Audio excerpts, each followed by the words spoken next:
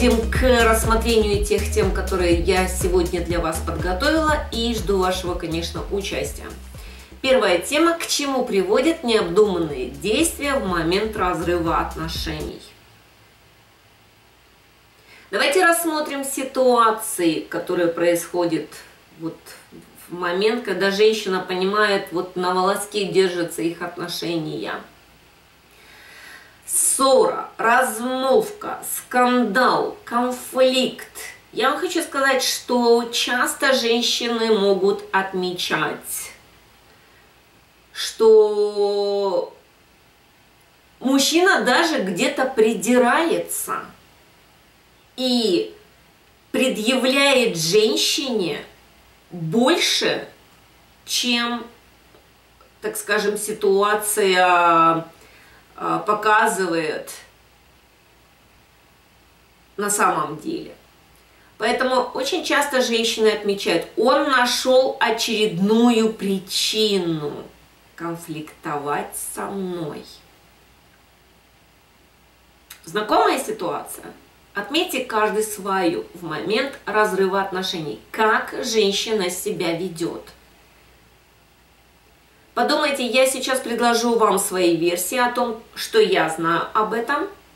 И вы, пожалуйста, дополните мои ответы.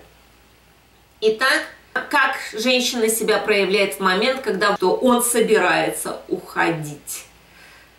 Заискивает, совершенно верно, оправдывается, совершенно верно. Он критикует, он критикует, я обижаюсь, правильно, Елена? Отлично, отлично. Что еще? Женщина падает ему в ноги. Бывает и такое, я беру крайнюю ситуацию, но бывает и такое. Женщина падает в ноги. Агрессия, да, сейчас правильно будем говорить не уходи, падает она ему в ноги и просит его о том, чтобы он сказал, что сделать, чтобы он остался. Женщина предлагает, или, или женщина говорит, сейчас лягу трупом и уйдешь только через мой труп. Я знаю очень многие ситуации, когда подростки покидают дом, мамы делают то же самое. Да? Агрессивное поведение. Какое агрессивное поведение? Женщина впадает в истерику, правильно? Женщина не, даже не осознает, что с ней происходит. Женщина подвержена такому агрессивно-истеричному состоянию, она может швырять в него вещи, она может бить его, обзывать, ругать. Правильно? Подобным образом она себя ведет шантажировать. Правильно, если ты сейчас уйдешь, я с собой что-нибудь сделаю. Или а, если ты сейчас уйдешь, а, забудь о детях, ты их не увидишь. Или забудь значит, э, о том, что вот наше общее нажитое, ты ни с чем, ты останешься ни с чем. Или я тебя обберу до нитки, говорит женщина, когда уходит богатый мужчина. Да? Женщина шантажирует, женщина угрожает, обвиняет, оскорбляет, убеждает, кидается в убеждение, ведь лучше у тебя никого не было, у меня никого не было, ведь, ведь нам лучше всего быть вместе, правильно? То есть женщина пробует любые способы, начиная от э, шантажа и угроз, заканчивая жертвенно-манипулятивными способами и действиями. Далее, что делает женщина дальше? Она провоцирует ревность, как следствие, она делает попытку, ага, раз ты так, пойду тебе изменять. И все, и женщина у нее перекрывает, она пошла и делает свою жизнь, то есть ищет себе приключений и ищет Потому что она знает, она хорошенькая, сексуальная, она потрясающе выглядит, она хороша с собой, она мстит мужчине. Да? В порыве ревности. Пытаясь вызвать ревность у него. Или она ведет себя так, что она отвечает на звонки своей соперницы через его ну, телефон. Она берет его телефон, выискивает ее или сама и набирает, или дожидается, пока та наберет, и говорит э, вещи, которые той женщине могут не понравиться. Например, он мне все о тебе рассказал. Он смеется над тобой, мне, ж, э, мне жаль тебя, и он тебя жалеет. То есть женщина использует ложь. Дальше что еще делает женщина? Выслеживает мужчину, куда он ходит, пристает к нему, цепляется, вызванивает, просит прощения, просит встречи, хочет что-либо объяснить. Знаком вам весь этот набор механизмов по воздействию на мужчину, на любимого человека? Подсылает ему э, третье лицо, просит третье лицо поговорить с ним, выяснить причины ухода и то, что он себе там думает. Фактически женщина полностью погружена в, в тот процесс схватить и удержать в тот момент, когда страх ее настолько велик, страх потери, что она даже не, со, не, не способна совладать с собой. А почему?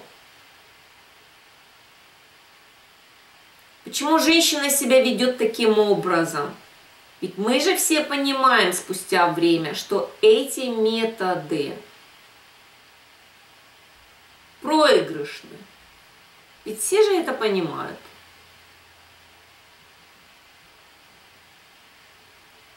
И чем более активно женщина в позиции вот схватить и удержать, тем более, э, скажем,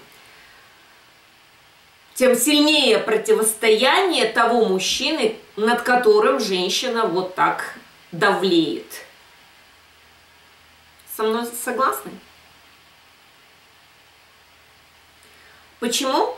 Спрашивает Инна. А, что почему? Почему женщина так себя ведет?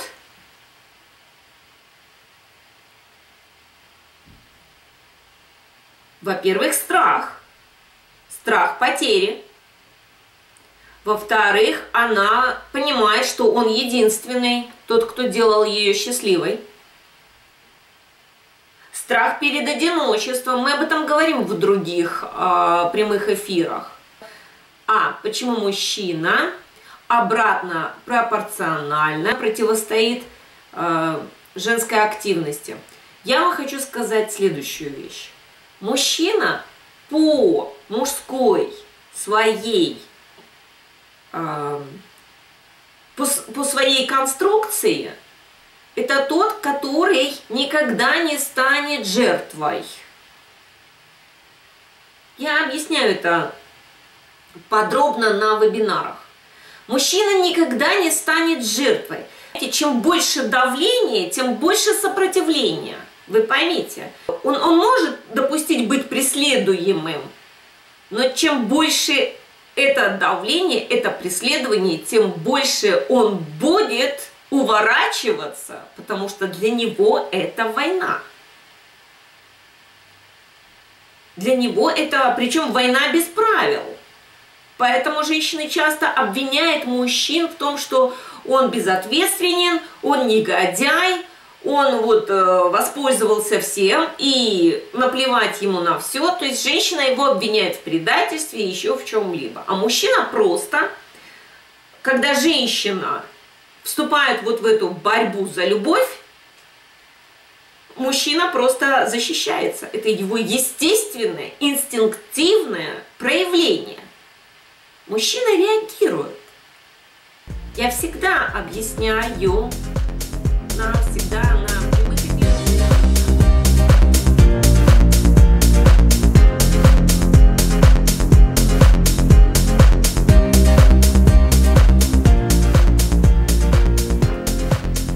К чему приводят ее действия? Те, которые мы сейчас перечислили. Если она была в браке, она остается одна. Если она была в паре, в итоге она остается одна. Если она ждала предложения от него о замужестве, она опять остается одна на долгое время.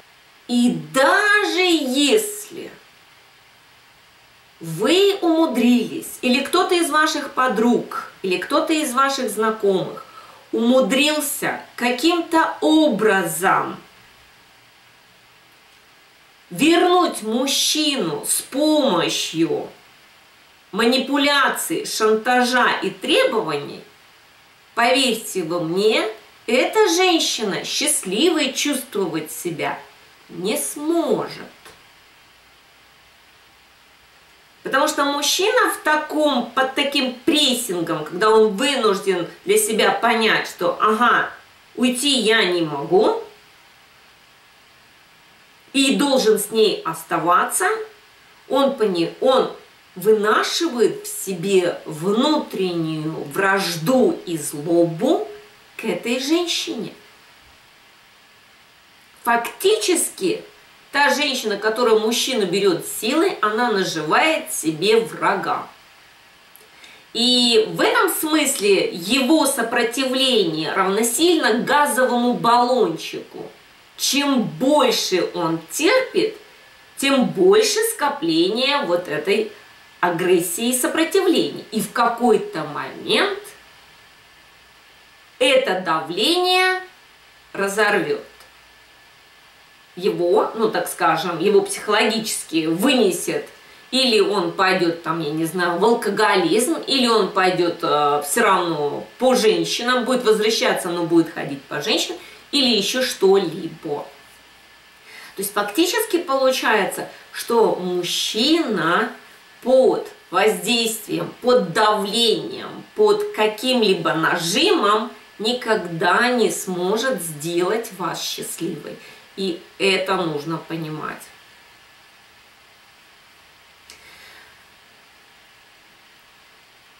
Почему у женщины не получается сделать э, жизнь счастливой? Почему? Потому что она не знает, как себя держать, она не знает, как себя вести, она не знает, что говорить, где промолчать, и действует посредством проб и ошибок.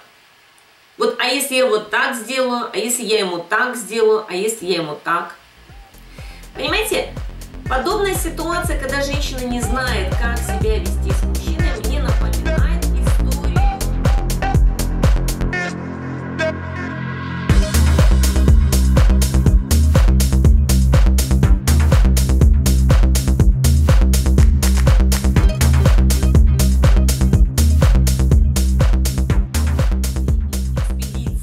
каждая женщина. Ведь каждая женщина по своей сути стремится к чему?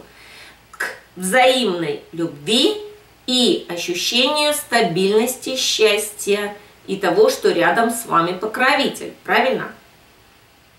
Правильно.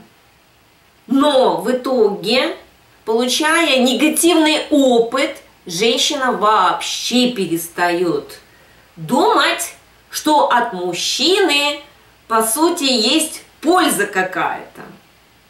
И из одной истории отношений в другую, женщина находит для себя только негативный, негативный опыт, через который она понимает, зачем мне эти мужчины? То есть она не понимает, она делает выводы. Она понимает, что отношения не складываются, и то, что она ожидает, она не реализует. А вкладывает она много, она вкладывает душу, свое сердце, свое время, свой ум. Очень часто женщина вкладывает материально в мужчину вкладывается. Но что это в итоге ей приносит?